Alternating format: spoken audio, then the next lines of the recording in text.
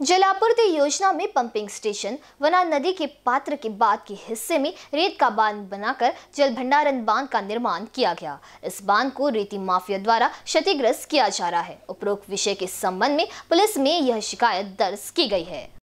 शिलापूर्ति योजना के तहत नगर परिषद द्वारा पंपिंग स्टेशन से शहर को पानी की आपूर्ति की जाती है। पंपिंग स्टेशन के पीछे वना नदी के पात्र में पानी को सप्लाई करने के लिए नगर परिषद द्वारा एक अस्थायी कच्चे बाँध का निर्माण किया गया था। लेकिन पिछले कई दिनों से इस जगह पर रेत के अवैध निकासी के कारण नदी के तल में कुछ स्थानों पर गड्ढे पड़ गए हैं। साथ ही नदी के तेल के उत्तर भाग में नदी के पात्र से लगातार रेत के निकाले जाने के कारण पानी का प्रवाह बदल गया है। इसी तरह नगर परिषद द्वारा बनाए गए अस्थायी बाँध क्षतिग्रस्त हो रहे हैं और क्षेत्र में पर्याप्त जल भंडारण नहीं हो रहा है। इससे शहर में पानी की आपूर्ति करना मुश्किल हो रहा है। भले ही नदी से रेत निकालने की मनाई है, लेकिन वो लोग अपनी मनमर्जी करने से बाज नहीं आ रहे हैं।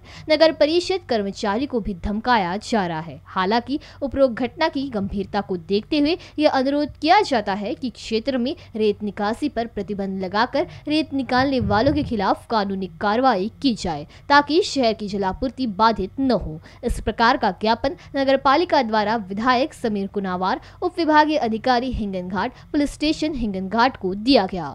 बीसीएन न्यूज़ के लिए हिंगन घाट से रवि ये नोरकर की रिपोर्ट।